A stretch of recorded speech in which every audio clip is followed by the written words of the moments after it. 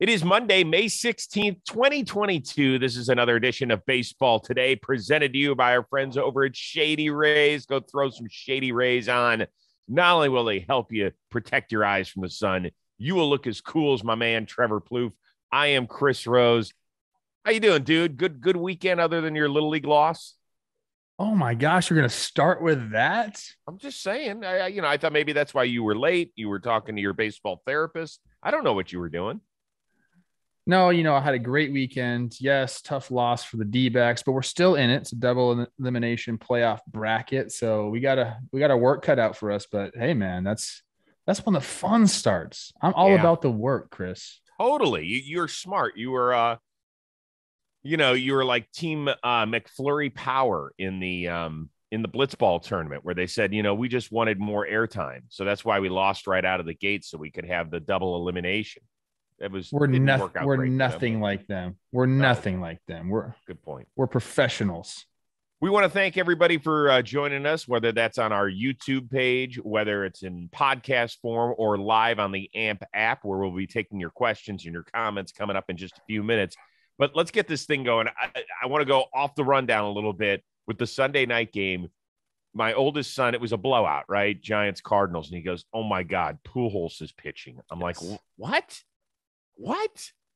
Like, how amazing is that if you're one of the two guys that ended up hitting a homer off of a dude who's got 600 plus homers? It's it's crazy. We're watching the video right now on it, just lobbing the ball up there. Albert, can you just give me a little speed on that thing or what, dude? Dude, he I didn't want to blow out.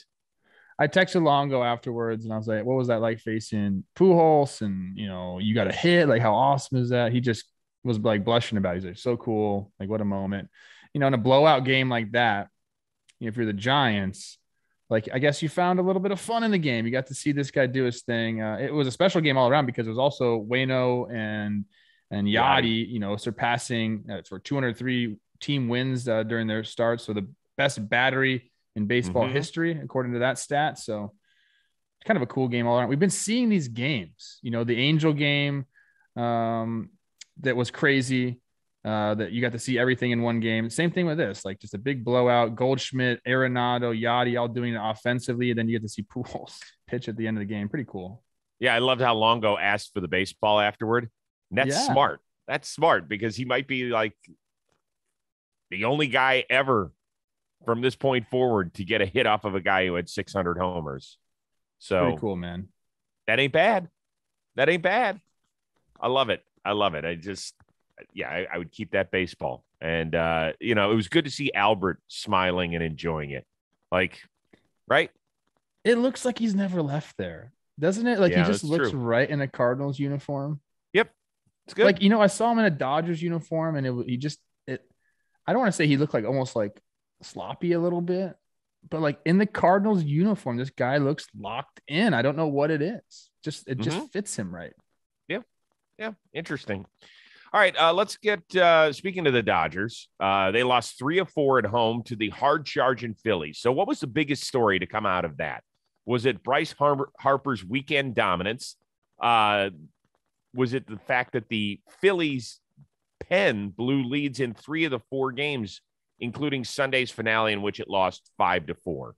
Because that's what a lot of people in Philadelphia are talking about today you know, it's it's such a strange series for the Phillies because obviously you're feeling great about going into LA and you take three of four, but the way you had to do it was exhausting. Like you're exhausted after that series, and like you don't even know like was that a good series? Yeah, we won three out of four, so I guess you have to take that away from it.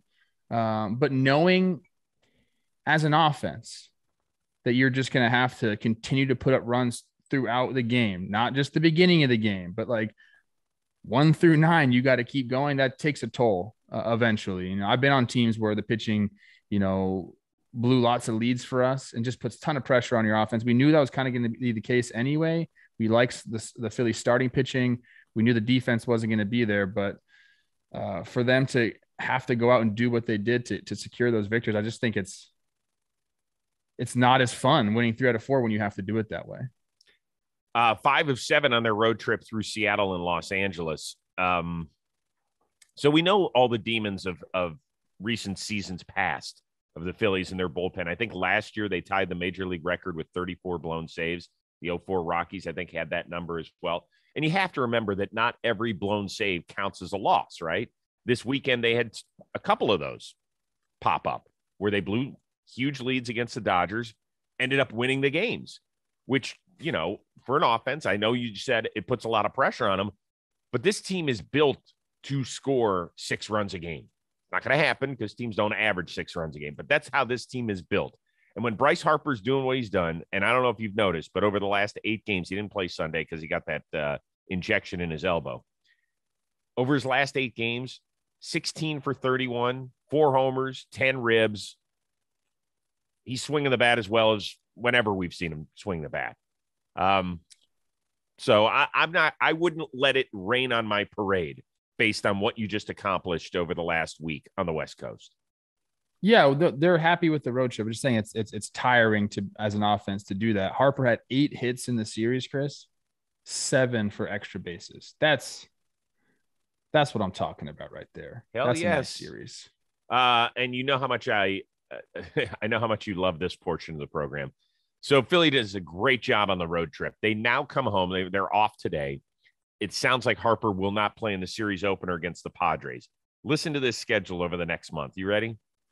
Padres, home against the Dodgers, at Atlanta, at the Mets, home against the Giants, home against the Angels, at Milwaukee, and then Arizona, who's no pushover these days. So the next month for this team, you're gonna look. You you told me over the phone on the this weekend this is the time of year where we find out what teams are all about. And I think we're going to know exactly what the Phillies are about one month from now. Yeah, I think it's for me, it's like the June, you know, beginning of June mark is where you see hitters, you see teams like, are you going to be for real? Uh, you're going to start to see teams who started out hot kind of come down and teams that started out slow kind of come up. It's it, it, the cream rises to the crop eventually. I, I, I think I've referenced this on the show before. I remember talking to Prince Fielder. Doesn't the cream rise to the top? That's what I said. I think you said crop. I didn't say that. Hmm. Why are you all over me today? Listen, I'm trying to tell a story about Prince Fielder. I'm trying to remind people that I used to play professional baseball. I was at first base with Prince, and I gotten a few hits in the series. And he's, "Hey, how you doing?" I said, "Ah, man, you know, just trying to trying to get those numbers looking better on the scoreboard. Because I've told you, man, when you're struggling to begin the season, you keep seeing like a one or like a low two batting average. It hurts the soul a little bit. So I said that to Prince. He goes, you know what? He goes, I don't even look. I'm like, what do you mean? He goes, I don't look at any stats until the end of the year. He goes, I know if I put the work in, they're going to be there at the end of the year. And I don't do myself any favors by looking at them through the year. So I try to do that as much as I could because it made sense to me. Like process, process, process, forget about results. Uh, it's difficult to do it because obviously it's always in front of your face. Um, but that's kind of how I feel about the season too. Like no matter how you start, slow or or strong, like everything's going to come and be what it is supposed to be by the end of the season. I think this June is where we start to see it start to happen. You played against Prince Fielder. I love it. Good story. Yes. I like it. All right. So the Pirates, that is the team whose hat I am donning on this show today, became the sixth team since 1901 to get zero hits and still get a W. In fact, their manager, Derek Shelton, said afterward, Hey, sometimes you win in weird ways. And today we won in a weird way. If it's part of history, that's fine because it's still a win. Do you agree? Of course. Of course. I mean, the Pirates know they're not going to go out there and score a bunch of runs. They're not the Phillies. Okay. Uh, interesting game. I mean, both pitchers were really good. Hunter Greene, you know, when he has like a three pitch mix working, he's gonna be really tough. I mean, this is not going to be the last time. I mean, I, they they count that as a no hitter because it's only eight innings, no. right? Yeah, they don't count. Correct. No, no. It's not going to be the last time we see him flirting with a no hitter late in the game. That's he's 22 years old. He has the stuff that everyone dreams about having. For him, it's about location and control. Uh, you know, I was curious to see him be allowed to kind of go that long. I know it's the most innings he's ever, or most pitches he's thrown in a game. Mm-hmm. Kind of happy. He's a big boy. I think he can handle it. Um, but the Pirates, you know, found the way to win. I thought that play at the end was kind of strange. Like Lopez had the ball, like you kind of got to come get that and go home. Because uh, once you try to go to second base and then he kind of hesitated with that flip. I mean, that was it. You're gonna be you're gonna be down. You're gonna be down a run. I think you got to come and try to get that run at home. But look for the Pirates, any win you can get, you're happy with it. Absolutely. No, I thought it was uh, it was fun to check in on Hunter Greene, 122 pitches, seven and a third. Interestingly, his pitch mix, he threw 65 sliders on Sunday. Right, he had been fastball heavy throughout uh, for most of his starts so far. Decided to go, you know, more than half his pitches with sliders. Thought that was interesting. Also became the first um, team since the 08 Dodgers. I'm talking about the Pirates here to win without getting any hits against uh, the Angels. And the game started by Jered Weaver that day. I think he only went four innings that day. So, um, yeah, good for the Pirates. Whatever. They're trying to piece it together. It's it's been a tough road for them, not compared to the Cincinnati Reds. But the Reds have been playing significantly better. It's just like I can only imagine what the hell that clubhouse feels like afterward. Like our kid, he ends up throwing no hit ball into the eighth. We can't scratch across anything, and the dude ends up losing the game. The Reds are an enigma. Great young really talent though? on that team. They had they had the pieces there and just didn't do it. And hey, shout out to Jose Quintana in that same game, seven Shetty. Nobody's talking well. about him. By the way, he will he, he'll get traded if if he keeps it. He might not continue at this rate because he's he's had a couple of really good starts this year. Um, but he'll get traded. He'll get somebody will take a, a chance on him, right? I mean, I know it's been several years since he's been good on a consistent basis, but left-handed, somewhere down the stretch he could fit in, particularly with all the injuries that we've had around baseball. And one other thing, I think I look a little bit like Derek Shelton now that I've grown out the uh, salt and pepper beard today. He used to be on this like this commercial for some hitting contraption. Yes. What was it? Yes. Swing over? Um, no. Oh God, what was that thing? Yeah, I used to I used to crush him on. I was like, dude, are you getting royalties was, on that? We were like, who the fuck is this guy on the on the TV? He's the only player in in major or the only person in Major League Baseball has like a, t- a commercial on TV. It's like I know random right? hitting coach. Yeah, shout out yeah. Shelty. Yeah, it was like uh, when uh, Fred McGriff was doing the Tom Emanski videos. There it is, there Derek it is. Shelton. Oh yeah, let's see it. I oh have we have one of these. we have one of these. No joke. They better have paid him a lot of money for that. That thing's a silly gadget. The speed no, no hitter. Offense. That's what it was. Right. Yes. Look at there you go. All Pull right, your barrel Shelby. out of the zone real quick. How about that kid? The left-handed swing. What did he do? Did he even move his legs? Did he even load at all? Oh man, I gotta say you're better looking than Shelty, no doubt. Well, well, right there I am. I, it's just now the salt and pepper beard and the Pirates hat. We'll see. Well, today's episode of Baseball Today is presented to you by these guys, Shady Rays, which is changing the way you wear sunglasses in the outdoors. It's got the best combination of fit, style, and performance without the big brand price tag. And here's what's the amazing thing about Shady Rays every pair is backed by lost and broken replacements. I'm sure you're like me. Like one time I lost my shades in the ocean. I was like, oh, they went in the water. They're gone. Another time I'll put them down on my seat in the car. I sit on them. I break this part. They're toast. Well, guess what? With Shady Rays, if you lose or you break a pair, even on day one, they will send you a brand new pair. That's unbelievable. On top of that, you not only want to look good, you not only want to feel good, you want to fill your heart when you purchase something. And that's where Shady Rays takes the game to an entirely new level because they also provide 10 meals to fight hunger in America with every order. And so far, they've donated over 20 million meals to date. So you can look great in your shades and feel good about the impact that this company is making, which I love. And by the way, if you don't love these, you can exchange them for a new pair or return them for free within 30 days.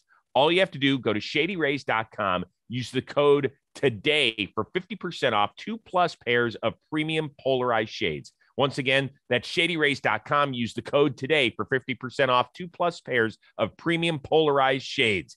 I promise you, you look great. Interesting series gets started tonight. Cards and Mets out at Citi Field. It's the first time since the little brouhaha that we had in St. Louis. Mets players got dotted a lot. We had a ball thrown near Arenado. We had a little bit of an escalation. Will things be quiet or noisy? We got to talk to Stubby Clapp. I mean, he's he's the kingmaker here. Like, if he's pissed off, we might have some fireworks. I don't know. I, I think it's going to be quiet, unless I don't think anything's going to come you know, on purpose. But if we start seeing these balls get away from some pitchers, then you know there's definitely a chance that we see some fireworks happen. I'm hoping it doesn't, um, because you know what what does that do for either team? It doesn't do anything for either team to get a guys thrown out or to get guys injured. So I'm hoping nothing happens. But like I said, if we get a few balls just kind of errantly thrown up and in, I mean these teams have been feisty with each other, and I think Buck is fed up like with everything, and I don't know if he's at, at a certain point telling guys to go out there and and, and have some retribution, but um, maybe maybe it'll come to that. I'm hoping not though, Chris. I really hope it doesn't. So if I'm part of the SNY broadcast team tonight that that covers the Mets game, when uh, when Alonso runs out of the field onto the field, assuming he plays first base, and Stubby Clapp, who's the first base coach for the Cardinals, I want to see their first reaction. Like that's the shot that I want to see. I want to see if they're keeping their distance. I want to see if Stubby Clapp comes up to him and is like, hey, dude, sorry, heat of the moment. I want to see if there's a handshake. I want to see if they'll get past this, or I want to see if there's a deep freeze. Don't you? That's so good. Like the Stubby and Pete show. Like they should have, they sh- hopefully they got together and were like, hey, dude, this is the thing. Let's have an arg like a shouting match. Just let's get people fired up. Like this is gonna be fake, but I'm gonna start yelling at you. You start yelling at me. Like give me a flex or something like that. That's that's the entertainment we need in this league. Ooh, got a little WWE on the night of. I think uh, we might Monday need to start Raw. bringing it Is that in. what we're doing here? Yeah, I think so. Alonso would be he would be a great baby face. He would. He would. He'd be a great face.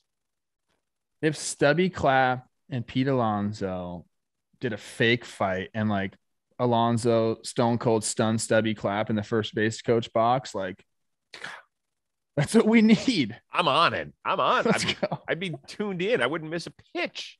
Are you kidding me? Oh, Uh, if once every game we just had a wrestling match break out randomly, I think the ratings might go up. I don't know. Hey, we gotta we have to clip this off and send it to and tag SNY in our Twitter feed today. Please, please, when Alonso runs out on the field tonight, follow him the entire way and then get a nice two shot of he and Stubby Clapp. We've got to see what happens. We have to. If not, they're- eh, because SNY is one of the best local broadcasts around. The announcers are great. The crew does a great job. But if you don't do that, you have failed us. Yeah, because I mean, the first where are they playing? They're playing in New York. So yeah, first inning he's gonna run out there. Stubby's gonna be right there. Like, is it gonna be automatic? Like, is it gonna be like confrontation right away, or do you think they're just gonna ignore each other? Because usually you say what's up to the coaches. Like if I'm a third baseman, I go say what's up to third base coach, dap him up a little bit, at least chuck the deuces. I mean, is that going to happen or is it going to be a stalemate? Well, let me ask you this. So the Mets, they don't have to cross the diamond because their home dugout is first Yeah. base. Won't Stubby be the second to arrive? Yeah, probably. Okay. But still, like you before you the game, you say what's up. It's as a give some exchange pleasantries. You know, like you're right. SNY, like get on that. Like Let's go. focus right on that. We need to see the interaction here, and hopefully it ends with a stone cold stunner. Woo! I'm in. I'm in. Hey, Shohei with another huge weekend out in Oakland, which included career home run number 100. So he joins Babe Ruth as the only players with at least 100 homers and 250 strikeouts as a pitcher. When it's all said and done, will Shohei A, hit at least 350 homers, B, record at least 1,500 strikeouts, C, do both, or D, do neither? Dude, you sent me this question, and I was like, "There's way too many numbers here. I can't." There's only two numbers. My mind was just in a fog. Okay, so let me just do the Good weekend, side. yeah, I think he gets to 350 homers. I really do. I mean, that's so. What's that? You know, 250 more. Like the guy's going to play for a long time. He's got that type of power. I think he gets to that. Now the strikeouts thing, I couldn't even do the math on that. So you can answer that for me. I have no no idea, but I do think he gets to 350 homers because we talked about it. This guy has real deal pop, like some of the best pop in all of baseball. The, the way he can go oppo like a right-handed hitter pulling the ball, like it's you can't teach that.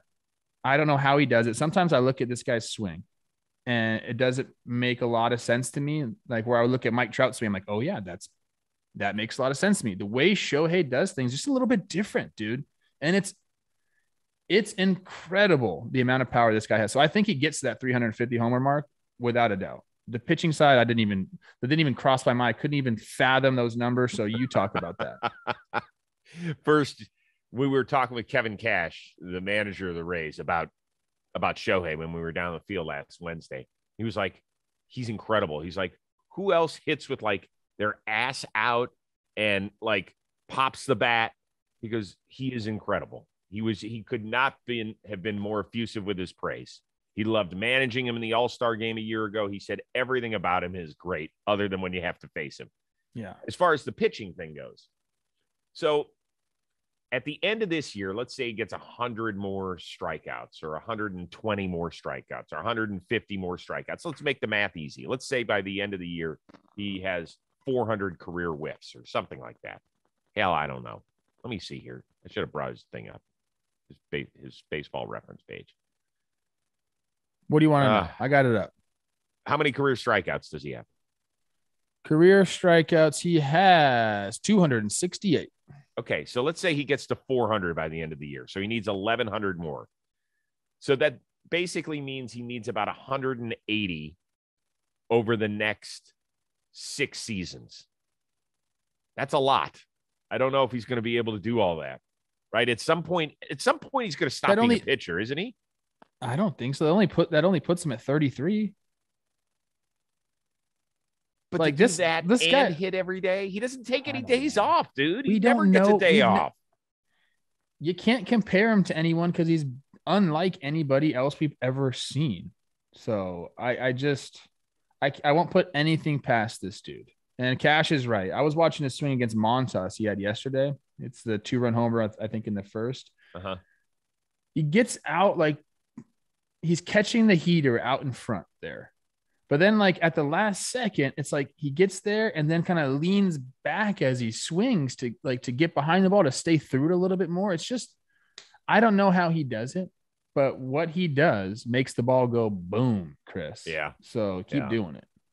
So I guess my answer will be yeah, I agree with you on the homers because I think he's going to stick around long enough and it plays. We're playing the homer right here. God almighty, what a moonshot Dude, that that is. is a bomb.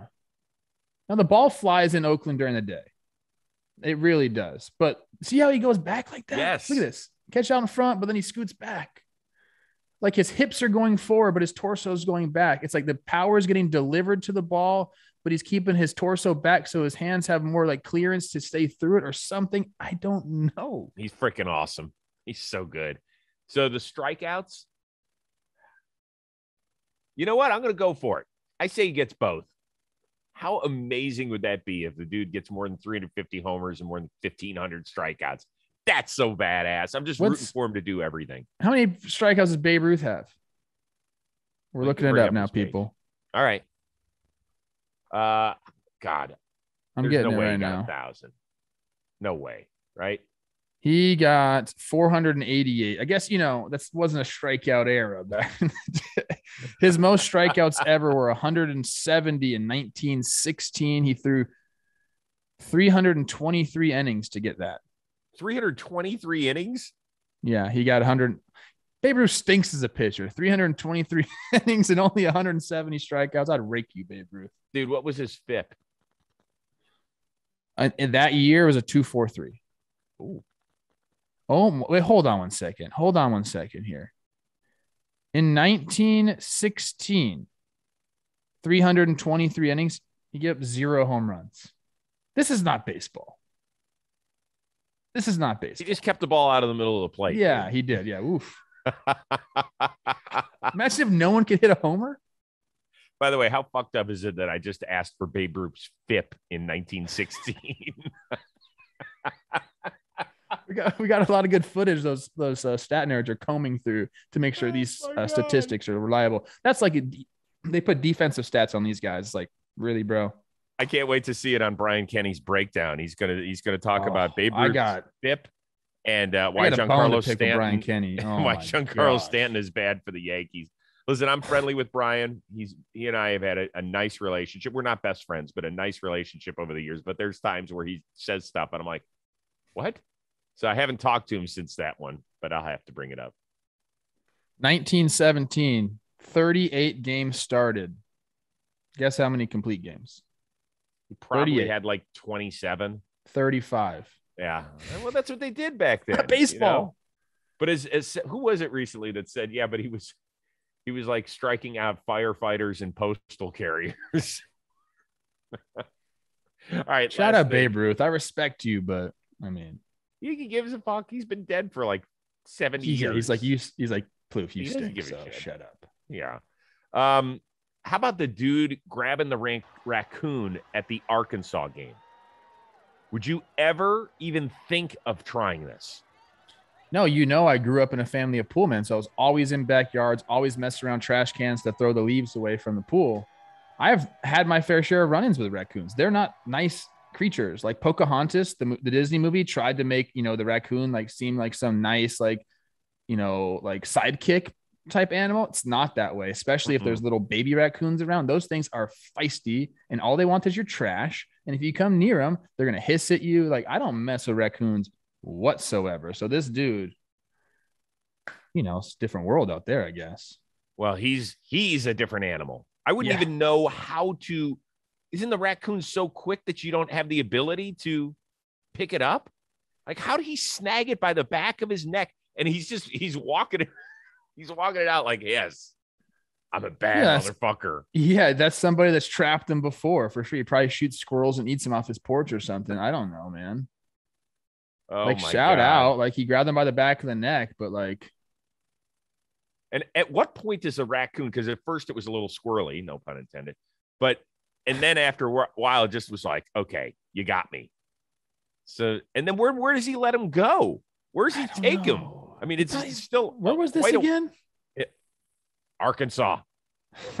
you know where they took him straight to the freaking hot coals. They barbecued that son of a No, gun. stop! Don't say that. I will. I don't want to hear that today. I'm not going to listen. Well, you don't that. think they eat? They don't think they eat raccoons in the sticks? Of course What? they do. Of course they do. this is the University squirrels. of Arkansas? No, no, no. We're not eating that goddamn raccoon. Chris. Oh God! You've been in LA too long, man. You've been in LA. You don't think in Ohio people they eat raccoons in Ohio for sure. Oh God! All right, stop. Wait, I'm done with this discussion. I've had enough. Maybe we'll ask people when they join us on the AMP app if they've ever tried raccoon. Ugh, quickly, what do you have on Jomboy Media? this turns sour so fast. Uh, I have the uh, Talking Baseball series recap. Monday episodes are my favorite, so I'm going to go do that with Jimmy and Jake and BBD right after this. Uh, I was planning on going down to the Dodger game tomorrow, but we'll have to talk about that. You and I, Yeah. uh, see if we can do some content there. What do you got? Uh, latest episode of the Rose Rotation out with Ty France, who had a huge weekend during the Mariners handing the Mets their first series loss this weekend. We also caught him right after Jarred Kelenic got sent down. Uh, we talked a little bit about that. Talked about Tony Gwynn being his uh, his coach at San Diego State and recruiting him when you know when he was 14 years old. What that was like. Uh, great story about Ichiro still being around the team. Really, really good stuff. So nice kid. Uh, has a shot to play in the All Star game, I believe, in his hometown of Los Angeles. Uh, so, really, one of the reasons if the Mariners are able to break that 21 year playoff drought, he's going to be at the forefront of this because that dude can mash. Nice, nice kid on top of everything else. So, that's what we got going. Uh, Yeah, don't forget to go. I didn't know he was an LA guy. Yeah. Yeah, played on the uh, played travel ball with Lucas Giolito. So we talk a little bit about Lucas and and stuff, and I got some stuff from Lucas about Ty. So it was good, really good stuff. A lot of fun. All right, uh, don't forget to go snag your Shady Rays. Go get your deal. Go get your uh, sunglass on, as we like to say. Around there, you go. You can look that cool. It is that simple. Uh, for our outstanding producer Robbie Shirocco and T. Ploop, I am Chris Rose. We'll see you Tuesday on Baseball Today.